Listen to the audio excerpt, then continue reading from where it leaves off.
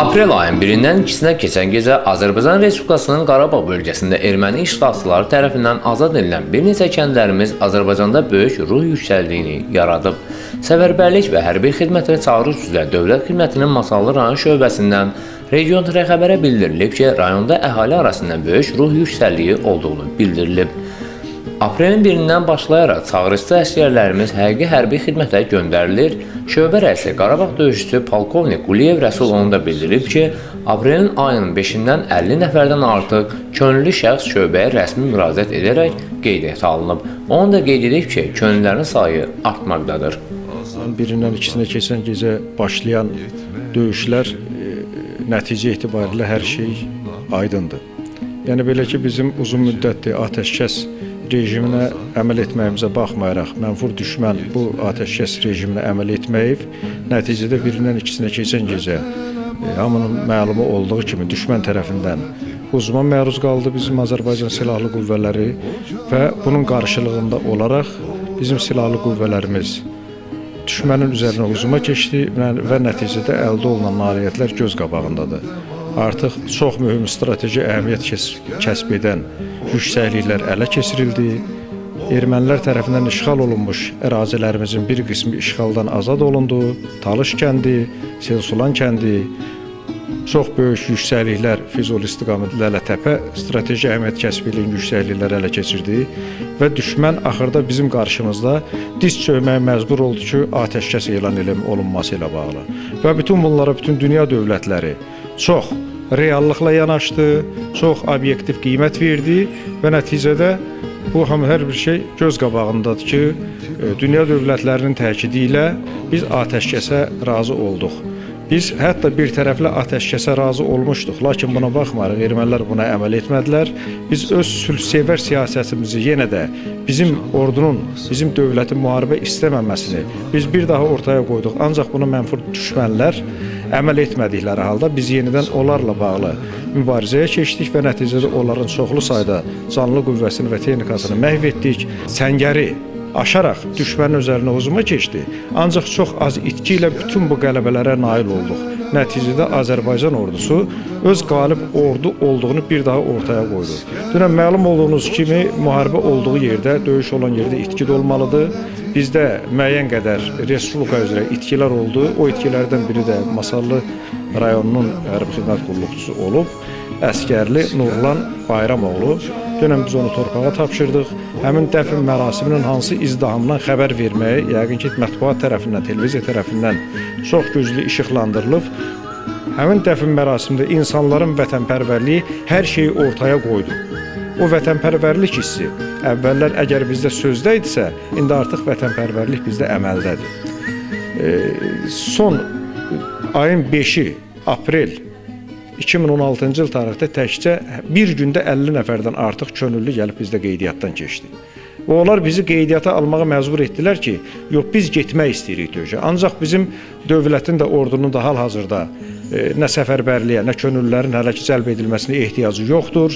Heç bir tam təminatı var, maddi texniki təminatı yüksəkdir, canlı qüvvəsi döyüş hazırlığı vəziyyətindədir. Heç bir şey ehtiyac yoxdur və biz e, yerdə qalan torpaqlarımızı da sülh yolu ilə qəbul olunarsa dövlətimizin apardığı siyasət nəticəsində baş tutar. Əks halda biz torpaqlarımızı döyüş yolu ilə almağa qadir bir ordumuz var. Yəni biz bu gün fəxr edə bilərik ki, bizim qalib bir ordumuz var. Eşq olsun bizim ordumuza, eşq olsun bizim dövlətimizə azadlığa yetmək üçün Ölkəmizdə 2-ci Qarabağ savaşının başlanması, Azərbaycanın qüdrətli ordusunun düşmənin canlı qüvvəsini və texnikasını məhv etməsi Masallı xalqının böyük sevincinə səbəb olub. 92-ci ildə etmişəm, 94-cü ildə yaralanıb gəlmişəm, qardaş. İndi də vətənimin, torpağımın əmrəliyi sabit yürüyündə ikinci dəfə getmək istəyirəm. Allah prezidentimizə can sağlığı versin. Onun siyasəti ilə biz dəstəkləyirik. Allah ona ömür versin, təzədən getməyə hazırıq qanımızla, canımızla, başımızla. Ağayev Şahin Yusufoğlu, 2-ci qrup Qarabalı, şəhid qardaşı, özüm, o iki dənə oğlum. Torpağımızın uğruna canımızdan keçməyə hazırıq. Qardaş, bizə torpaq lazımdır. Ya Qarabağ ya ölüm. Bu səbəbdən Masallı vətənpərvərləri həmişə olduğu kimi bu dəfə də cəhbədə olan igid əsgərlərimizə mənəvi dəstək olaraq Azərpost MMZ-nin Masallı rayon post filialının rəisi tərəqqi medalına layiq görülmüş mühəndis Rasim Paşayev region xəbərə bildirib ki, döyüş bölgəsində döyüşən əsgərlərimizə yaxınları tərəfindən bağlamalar göndərilir. O cümlədən könüllü vətəndaşlar ölkəmizin ordusuna dayaq duraraq ruhdan düşməyək deyə Qarabağ bizimdir şüarı altında bölgəyə çoxsaylı məktublar göndərirlər. Biz fəxr edirik ki, Respublikamızın bütün bölgələrindən olduğu kimi bizim bölgəmizin də igid oğlanları həmin əməliyyatlarda Ali Baş komandanımızın tapşırığı ilə həyata keçirilən həmin əməliyyatlarda iştirak elədi. Torpaqlarımızın bütövlüyü uğrunda canlarını fəda etdilər, şəhid oldular. Onlardan biri də hələ dünənləri biz dəfn elədik Kalinovka kəndindən.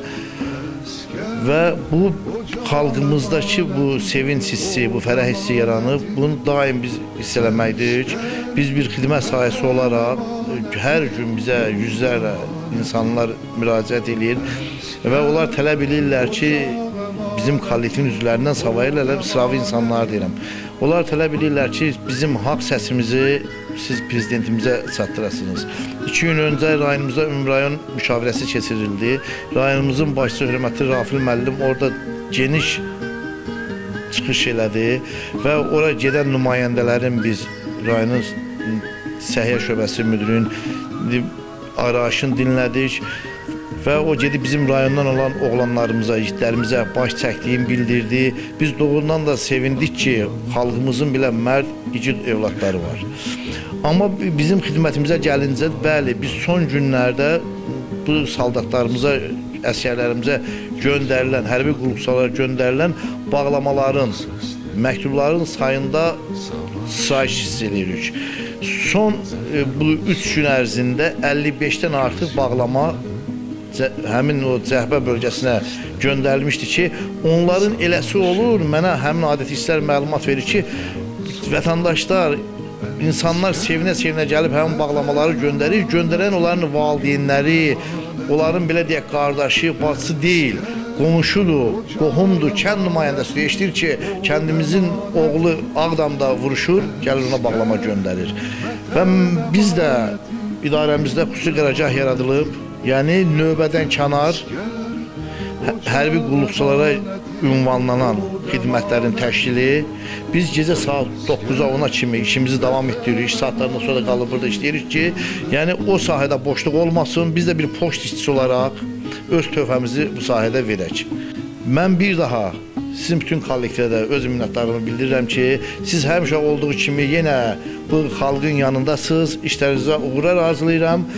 Və bir şey də sizin nəzərinizə çatdırıram ki, yəqin ki, bu mətbuatda edəcək. Bizim kollektivin üzvləri, mənə harasa 5-6 nəfər müraciət eləyib, onlar öz təklif edirlər ki, rəis, sən bizə şərait yarat, biz gedək o bölgədə vuruşaq. Yəni biri deyir ki, mən tankistəm, biri deyir klamyotçuyam, biri deyir ki, Rusiyada xidmət etmişəm, yaşı keçsə də belə. Amma bu günləri buna hələ ki ehtiyac yoxdur. Ali baş komandanı haçan o göstərişi verəcəksə, biz gedib o öhdəmizə düşən işləri orada görəcəyik.